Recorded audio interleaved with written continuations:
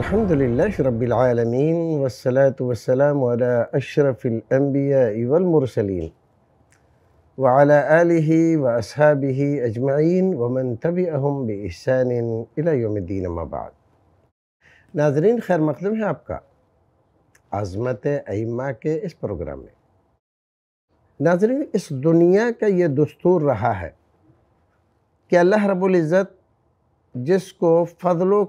कमाल अता फ़रमाता है। कबूल आम की दौलत से नवाजता है।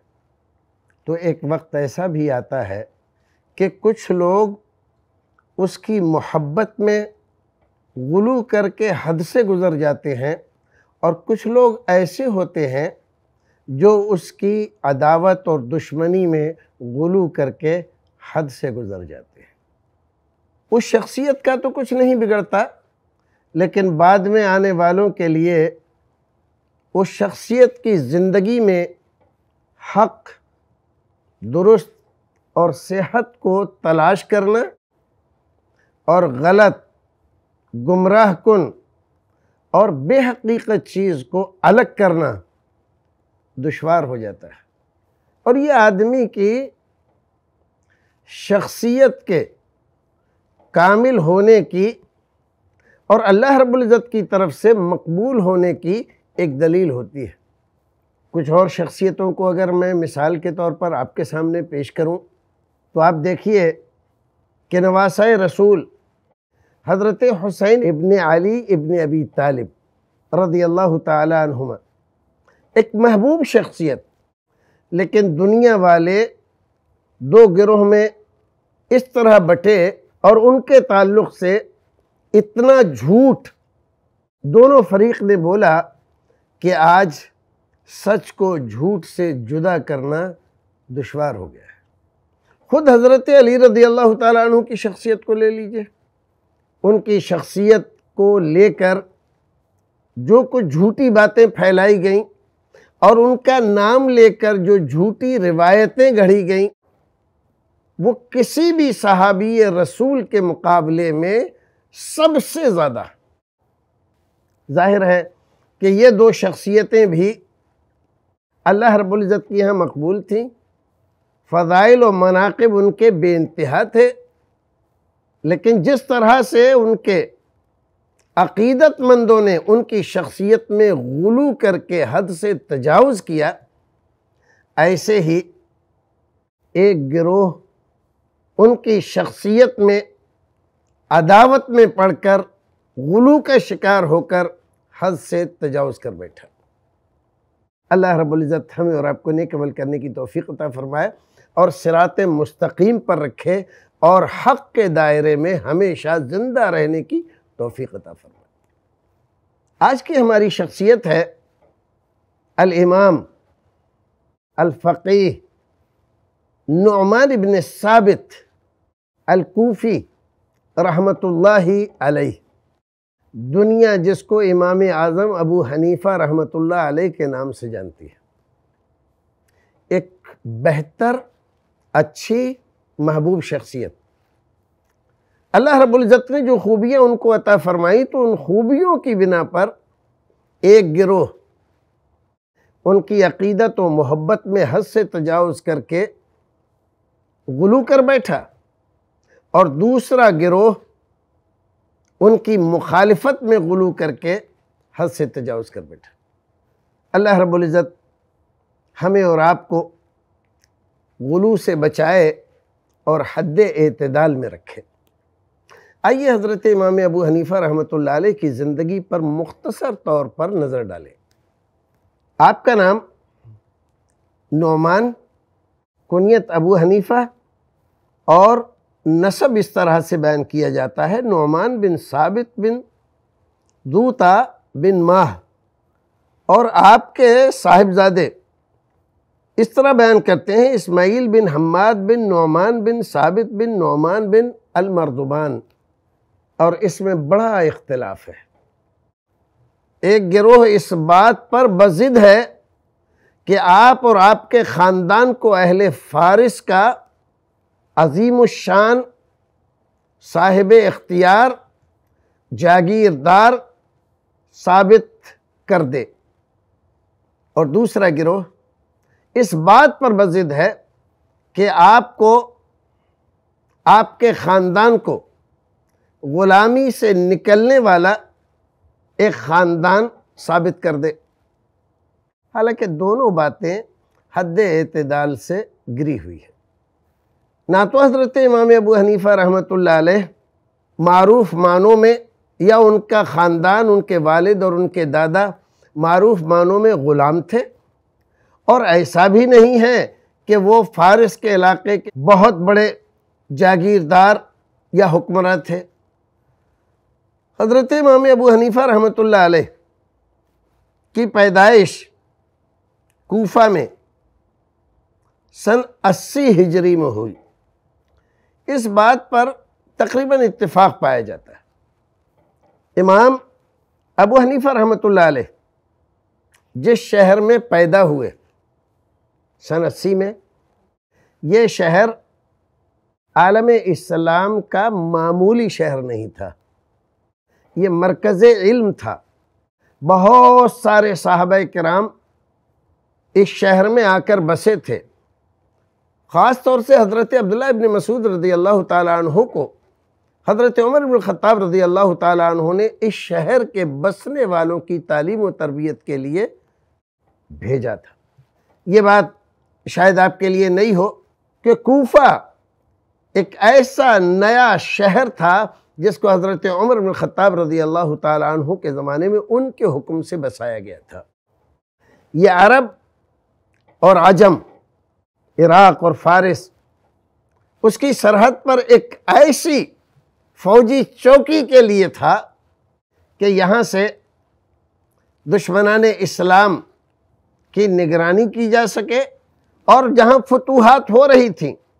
शाम में, मिस्र में और इराक़ और फारिस में तो जिस जगह के लिए ज़रूरत हो कुमक भेजने की, फ़ौज रवाना करने की तो बड़ी तेज़ी के साथ फ़ौज भेजी जाए और मोर्चे पर लड़ने वाले गाजियों और मुजाहिदों की मदद की जाए।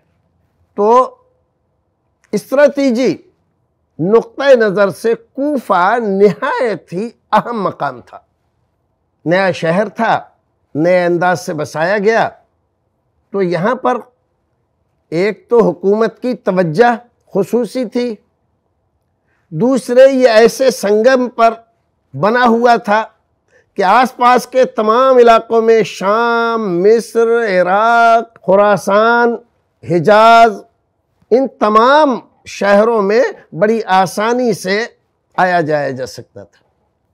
इसलिए मुहदसिन कराम फ़ुखाए इज़ाम ताबीन कराम और बड़े बड़े मुफसरीन और तमाम तरह के अहल फ़न हजरात, इस शहर में बड़ी तादाद में जमा हो गए थे। इस एतबार से ये इल्म का मरकज़ बन गया।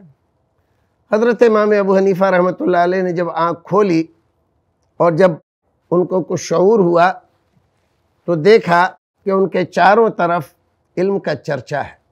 लिहाजा इल्म की तरफ़ रागिब हुए और इल्म हासिल किया। इल्म हासिल करने के बाद वालिद गिरामी का जो पेशा था, तिजारत था। रेशम की और रेशमी कपड़े की तिजारत किया करते थे। दूर दराज से माल मंगवाना और कूफे में फ़रोख्त करना। और आम तौर पर जैसे होता है, ताजर हजरात के बच्चे आम तौर पर किसी इल्म में माहिर नहीं होते। एक तो वालदेन तवज्जा नहीं करते इल्म की तरफ़। वो समझते हैं कि हमारा बंधा बंधाया और बना बनाया, जमा जमाया काम है। क्या ज़रूरत है हमारे बच्चों को किसी और चीज़ में पढ़ने की? थोड़ा सा शूर हो जाए तो दुकान पे बैठे, कारोबार को बढ़ाएँ।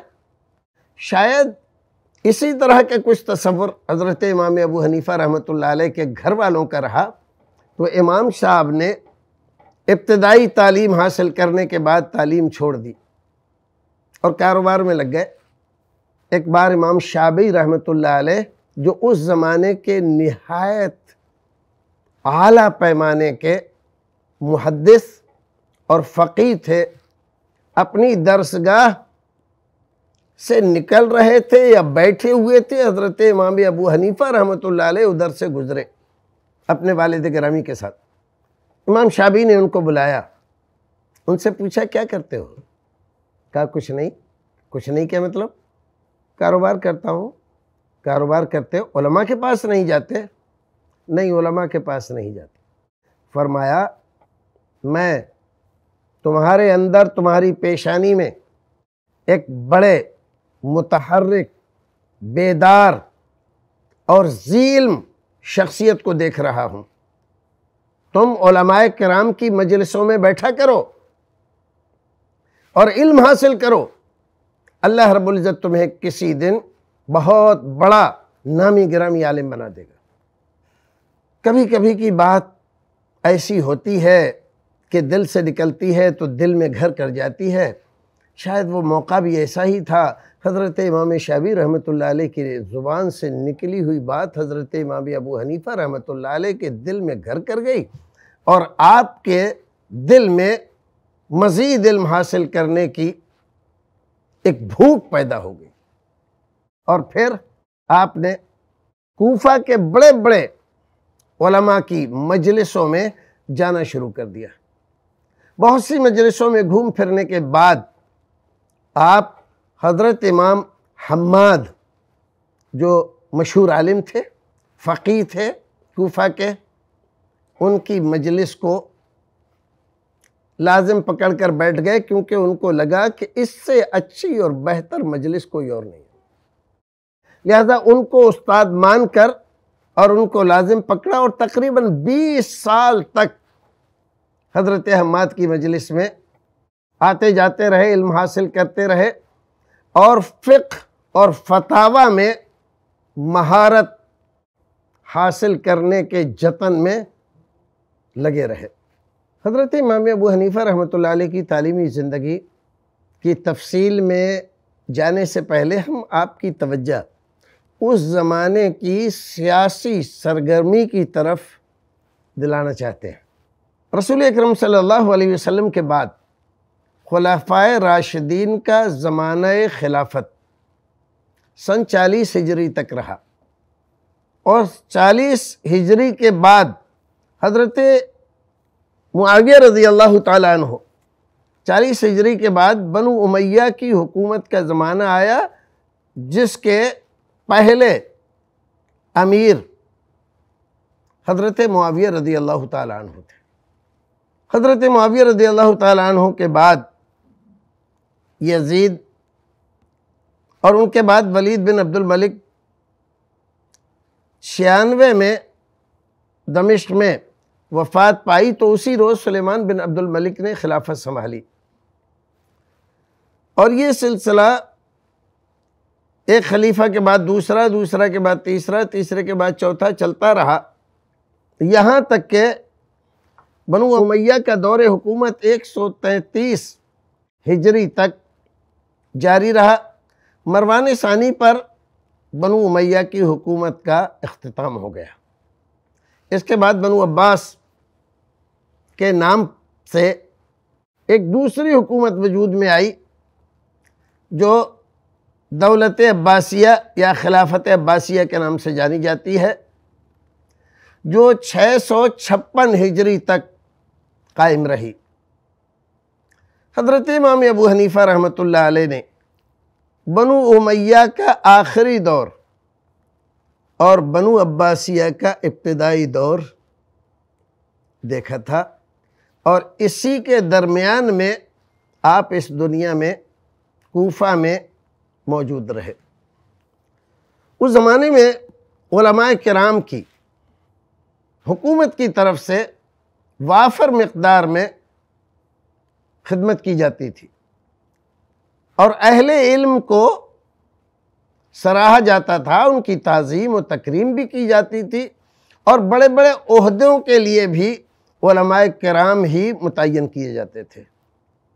इसलिए इल्म की कदर थी, अहले इल्म की कदर थी और अहले इल्म की ताज़ीम व तकरीम करने वालों की बड़ी तादाद थी। हज़रत इमाम अबू हनीफ़ा रहमत ने इल्म हासिल किया, लेकिन किसी हुकूमत का वजीफ़ा कबूल नहीं किया, कोई अहदा नहीं लिया। हालाँकि आपको काजी बनाने की कोशिशें की गईं, लेकिन आपने इनकार कर दिया।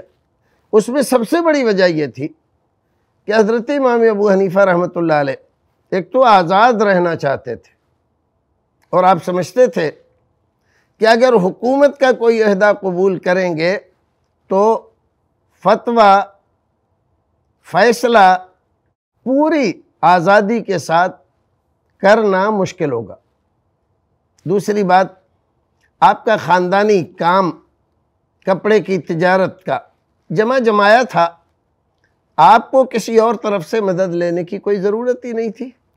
लिहाजा आप तजारत करते रहे और अपने अखराज अपने घर वालों के अखराज के साथ साथ दीगर ओलमा की खदमात और तलबा की खदमात भी करते रहे।